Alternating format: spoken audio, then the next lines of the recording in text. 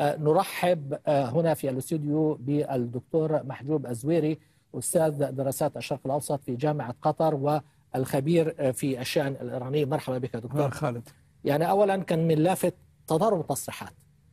تصريحات تخرج من التلفزيون الرسمي الإيراني تتحدث مرة عن العثور على حطام الطائرة ثم نفي ذلك تتحدث عن الوصول إلى المكان وبعد ذلك يقال إن الفرق الإنقاذ لم تصل بعد إلى المكان. كيف يمكن تفسير تضارب المعلومات.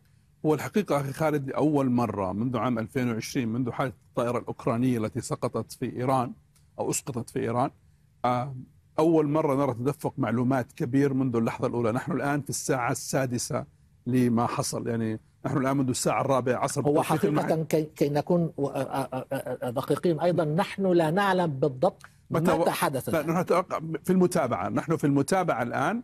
الساعة ربما السادسة الآن تقريبا. بعد الإعلان بعد الإعلان بعد الإعلان. لا أحد يعرف نعم. بالضبط متى حصلت الحادثة. صحيح. لكن على الأقل منذ أن وصلتنا أول معلومة نحن الآن تجاوزنا الساعة السادسة يعني ست ساعات الآن مما حصل. الآن آه تدفق المعلومات بدأ بشكل متسارع وبشكل آه في انتقاء في المصطلحات. أول شيء آه سقو... ليس سقوطا تستخدم هبوط حاد أو صعب. نعم. وثم ثم تحول إلى معلومات ثم تحول قبل حوالي ساعة إلى تصريح من وزارة الاستخبارات الإيرانية سقوط للطائر. يعني استعملوا مصطلح سقوط للطائر. إذا هذا المصطلحات هذه مهمة لأنه عندما نتحدث عن سقوط نحن نحضر الرأي العام لنتيجة معينة. نعم. عندما يتم الحديث عن سقوط طائرة إذا التحضير يأتي لحدث معين أو عدم رفع سقف التوقعات لما يمكن أن يحصل. اثنين تضارب التصريحات مرد أمرين أساسيين. الأمر الأول هو أن هنالك أكثر من جهة تعمل في الميدان. وكل جهة لها منصاتها الإعلامية التي تتواصل معها. ومن هنا شاهدنا الآن تصريح الدفاع الهلال الأحمر الإيراني. ثم التصريح الذي ذكرته حضرتك الآن فيما يتعلق بقائد الجيش وقال بأنه سلم نط... الآن هذه التصريحات مردها تفاوت الأشخاص الذين يعملون على الأرض وقدرة قدرتهم على التحقق بمعلوماتهم ربما ورد شخص وقال أنه لدينا إشارة كذا كذا. يأخذ بها المسؤول ثم يرسلها إلى من؟ شبكة المعلومات أو مراسلينه أو علاقاته ثم تذهب إلى وسائل الإعلام. الأمر الثاني في اعتقادي هو حالة الضبابية فيما حصل. الموقع شائك الجو شائك وضبابي. التوقيت كلها عوامل تزيد من ضبابية والكل يريد معلومة الكل يريد معلومة ولذلك ترى هذا التدفق في المعلومات المتضاربة في نفس الوقت. الموقع أنت تعرف هذه المنطقة جيدا؟ ما هي طبيعة هذه المنطقة؟ أولا إيران فيها محافظتين تسمى أذربيجان الشرقية والغربية وهما اسما هكذا وهما جزء من السيادة الإيرانية. هذه المحافظة جبلية باردة فيها طرق حادة ومرتفعات يعني فيها مستوى من الانحدارات مخيف حتى عندما تمر فيها في الحافلة أو في الباص تشعر بالخوف حتى وأنت ماشي على الأرض. منطقة غابات يعني على مد البصر وبالتالي أي حصول حادثة فيها حقيقة أنها مربكة مربكة للإنقاذ مربكة للحصول لأنه عملية الوصول عبر السيارات صعبة. عملية الوصول في الطائرات في ظل ظروف جو جوية أيضا صعبة. وبالتالي الأمر الثالث فيها الذي يص... أيضا يصعب وهو العامل التكنولوجي لأنه فيها معوقات كثيرة لإرسال الإشارات وهذا الأمر أيضا يعوق عملية ال... ال... الإنقاذ. وباعتقادي هذا الذي أضاف تعقيد للعملية. والملفت للانتباه أنه لماذا تنتظر إيران كل هذه الساعات لطلب المساعدة التركية ومطالبة الاتحاد الأوروبي؟ يعني يعني هذا في حد ذاته كان ينبغي أن يحدث مبكرا لأنه يعني في ظل تعطل بعض الظروف التكنولوجية منذ الساعات الأولى ربما كان يجب الاستفادة من الخبرة التركية مبكرا وفي رأيك لماذا لم تفعل إيران ذلك؟ أنا أعتقد بأنه هذا الثقة الثقة بالنفس أنه نحن لدينا القدرة على التعامل مع الحادثة والوصول إلى يعني باعتبار أنه الرئيس وشخصية مهمة في البلد وبالتالي يجب أن يحافظوا أن أن أن يتبنوا هم الاطمئنان عليها أو معرفة مصيره. يعني جزء منها يتعلق بطبيعة الشخصية التي حصلت معها الحادثة. طيب كل هذه عناصر مقلقة إلى حد ما. الظروف الجوية المنطقة الوعرة عدم دقة المعلومات وأن تكون لها مصداقية ثابتة على من خلال ما يخرج من تصريحات طلب المساعدة الدولية. ومع ذلك حتى نكون دقيقين مع المشاهدين. نحن ما زلنا في مرحلة البحث حتى لو كانت الأمور غير مطمئنة صحيح. حتى الآن لكن في كل الأحوال المرشد خرج ليطمئن الناس بأن أمور البلاد تسير على ما يرام لماذا يحتاج المرشد إلى طمأنة الناس؟ أنت تعرف بأنه آه، آه، في حال غياب الرئيس وفق وفق الدستور الإيراني المادة 131 في في ظل حصول غياب للرئيس وهنا مصطلح الغياب مصطلح يعني قانوني مفتوح طبعا في حالة الوفاة الغياب الجر... ال... ال... آه، آه، عدم قدرته على ممارسة مهامه الاستقالة فيها أكثر من حالة. نحن حاليا في حالة غياب. غياب. ل- لكن ه- هذه في حد ذاتها نقطة غير واضحة. متى يمكن دستوريا اعتبار أن الرئيس أصبح غائب؟ عندما لا يصبح هناك طريقة للتواصل معه ولا يعرف مكانه. وبالتالي لا تستطيع أنه لا تأخذ منه آه، أوامر أوامر. ولا تستطيع أن تتواصل لا معه. يستطيع أن يدير لا. يستطيع أن يدير المشهد.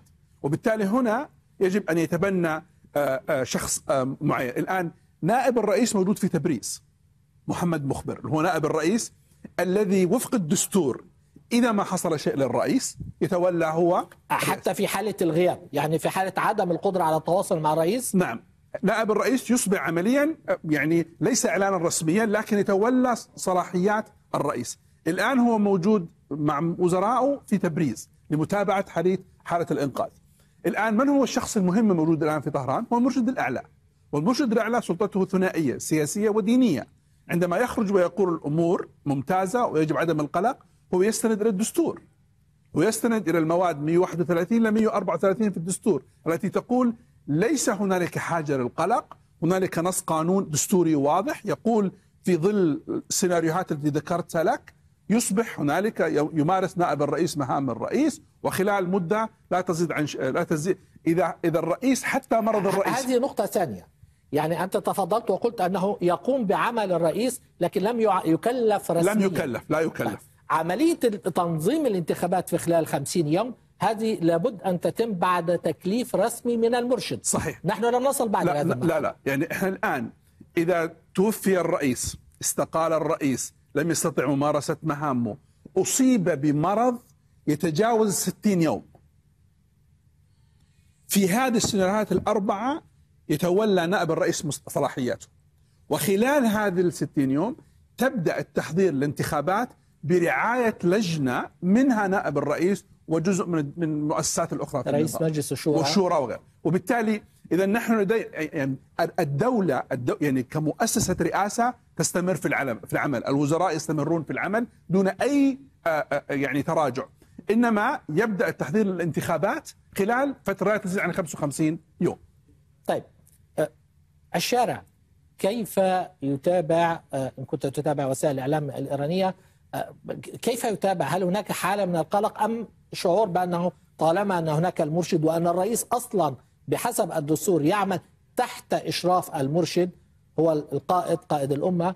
آه، في نهاية الأمر الأمور آه، آه، غير مقلقة. لا يبدو يعني من خلال الساعات الست الماضية واطلاعي على معظم وسائل التواصل الاجتماعي الإيراني والمواقع الرسمية الإيرانية ليس هنالك قلق على النظام وعلى الدولة.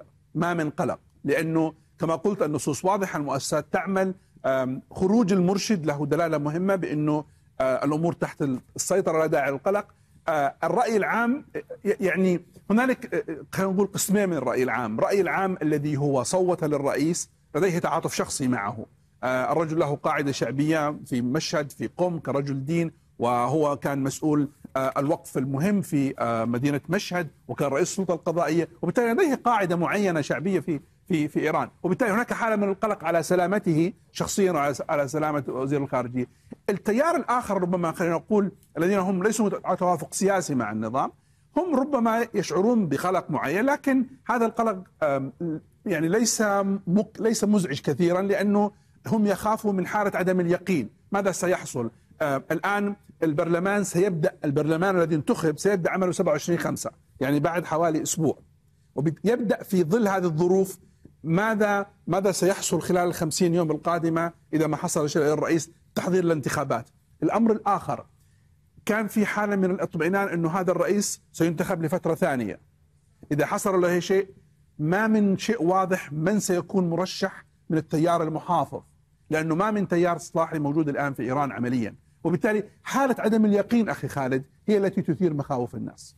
طيب وعملية التفاوض مع الولايات المتحدة هل من الممكن أن هذا يثير قلق الناس أن كنا نسمع في الأيام الأخيرة أن هناك تفاوض آه، ما بين الإيرانيين والولايات المتحدة آه، آه، حرب غزة التي طبعا تتابعها إيران ولها تأثير كبير عليها هذا لن يتأثر على الإطلاق لأنه في الفترة لما كان محمود أحمد نجاد رئيس الجمهورية كان التفاوض بين إيران وأمريكا قائما في عمان.